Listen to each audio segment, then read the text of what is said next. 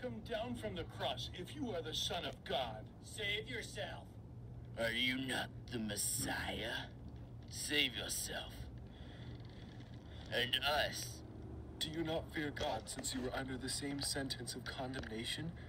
We indeed have been condemned justly, but this man has done no wrong. Jesus, remember me when you come into your kingdom. Truly, I tell you, today you will be with me in paradise.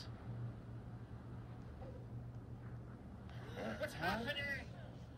Huh? Father, forgive them. They do not understand. Father, into your hands I commend my spirit.